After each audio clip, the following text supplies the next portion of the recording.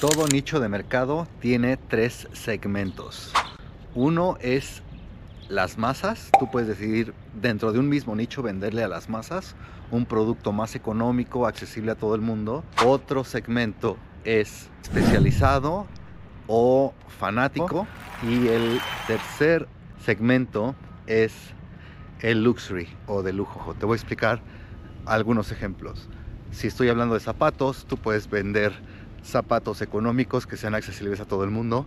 Si eliges el segmento especializado, puedes vender zapatos de seguridad, botas o de lujo, puedes vender zapatos de lujo, de diseñador, de marca exclusiva, etc. A la hora de elegir tu nicho, decide qué segmento vas a atacar. Masas, especialización, lujo.